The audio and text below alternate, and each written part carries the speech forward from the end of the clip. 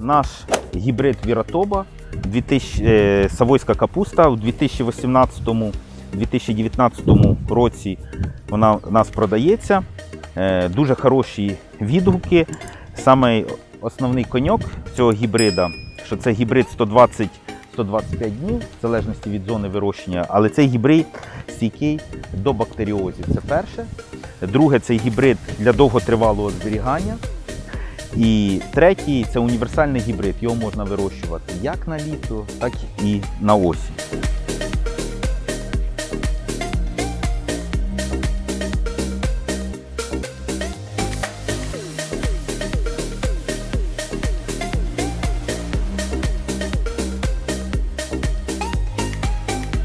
Як бачите, форма головки теж така заманчива, я б сказав би. Ніжний листок,